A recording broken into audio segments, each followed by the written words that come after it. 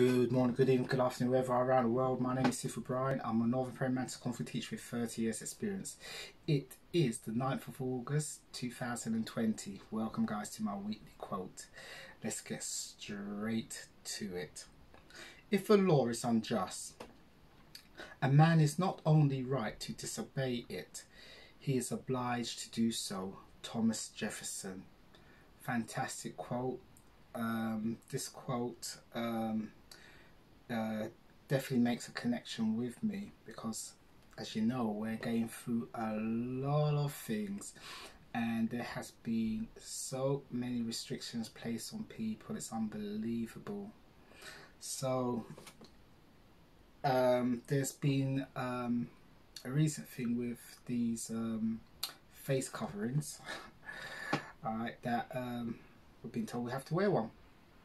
Now, there's lots of arguments for and against, and um, well, to be honest, I'm against it.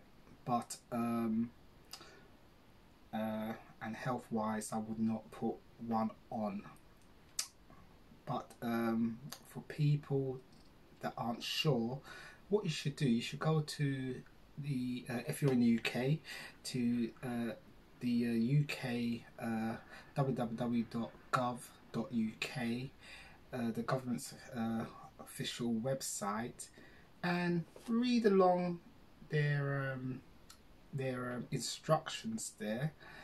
And um, you know, if you don't want to wear one, then um, just read along there, and it will make it clear uh, who can and who cannot and um, you know if you feel it's going to restrict your breathing or you feel you're going to have panic attacks or um, it's just not as it's not going to be as healthy for you definitely read that yeah because um, you will be exempt from that and um, if you use a bit of this you know um, you'll you'll you'll be fine you'll be fine and you'll be covered by by law so um, I would definitely say go and take a look at that. For anyone in other countries, I'm sure it's going to be the same in those countries and all. If you go to your official government websites, it's going to be probably the same information there.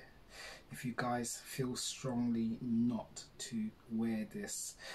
Um, but um, yeah, I have to read this quote again.